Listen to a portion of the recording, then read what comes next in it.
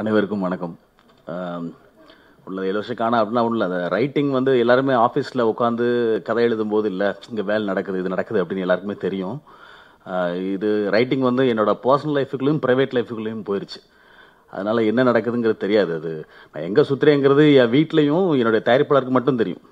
எங்கே இருக்கேன் அப்படிங்கிறது அவங்க ஃபோன் பண்ணாங்கன்னா தெரியும்.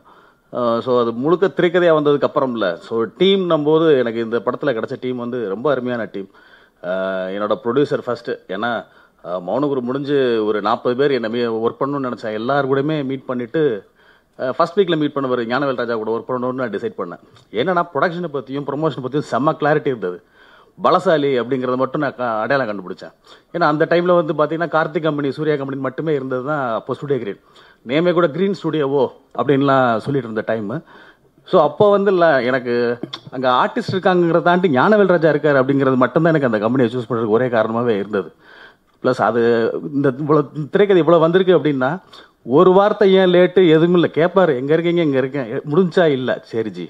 இப்படியே தான் இருந்து எனக்கு கில்ட் ஆகிட்டேன் என்னடா ஒரு சின்ன ரியாக்ட் கூட பண்ணல? அப்படின்னு சொல்லிட்டு இப்போ ஃபைனலாக இப்படி ஒரு மகாமுனி அப்படின்னு வந்திருக்கு அப்படின்னா இல்லை அது என்னோட எஃபர்ட் மட்டும் இல்லை. அது எனக்கு அந்த ஸ்பேஸ் கொடுத்த என்னோட ப்ரொடியூசர் அவருக்கு ரொம்ப தேங்க்ஸ் இல்லை அப்படின்னா இல்லை ஒரு அவசரப்பட்டு ஏதோ ஒன்று செய்யணும் அப்படின்னு சொல்லாமல் செஞ்சுருக்க மாட்டேன். வேணான்னு விட்டுட்டு வேணா போயிருப்பேன்.